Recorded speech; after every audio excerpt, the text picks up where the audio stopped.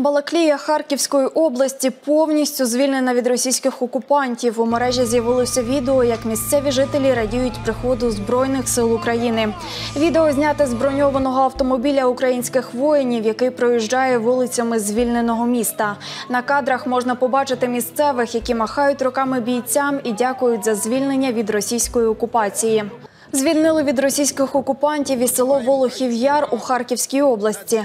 Наші захисники вже підняли там український прапор. Повідомляє східне оперативно-територіальне об'єднання Нацгвардії України. Український стяг замайорів ще в одному населеному пункті у звільненому українськими підрозділами селі Благодатівка на Херсонщині.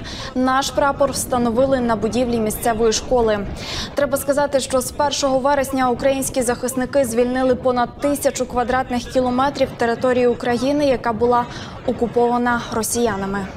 В рамках триваючих оборонних операцій наші герої звільнили вже десятки населених пунктів. І сьогодні цей рух продовжився. Є нові результати. Загалом з 1 вересня звільнено більше тисячі квадратних кілометрів нашої території. Дякую всім, хто це забезпечив. Дякую армії, розвідникам, спецслужбовцям за кожен український прапор, який встановлено цими днями. Та разом з тим ми мусимо говорити і про звірства, які продовжує чинити путінська армія. Вночі росіяни знову вдарили по Слов'янську. Постраждав центр міста та промзона на вулиці Вокзальній. На щастя, обійшлося без жертв. Цієї ночі росіяни вели обстріли у Покровському, Краматорському та Бахмутському районах Донеччини. Бахмут зазнав найбільшої шкоди. За попередню добу росіяни там вбили вісьмох людей, поранили ще 17. Пошкоджено 20 приватних і 6 багатоповерхових будинків, 4 крамниці, палац культури та адмінбудівлю. Крім того, під обстріл потрапив ринок. Пошкоджено 107 контейнерів.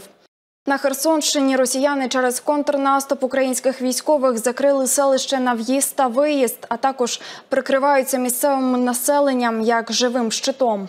В день 9 вересня Росія завдала нових ударів по центру Харкова. Ворожі снаряди влучили у приватні будинки. В деяких із них почалися пожежі. Пошкоджені дитячий садок, будинок творчості та школа. Станом на зараз відомо щонайменше про 10 постраждалих, у тому числі дітей. Вранці окупанти з літаків вдарили по лікарні на Сумщині. Нині відомо про сімох поранених. За словами очільника області, в результаті авіаудару приміщення лікарні вщент зруйновано. Сімох людей оглянули медики. Про їх стан інформації немає.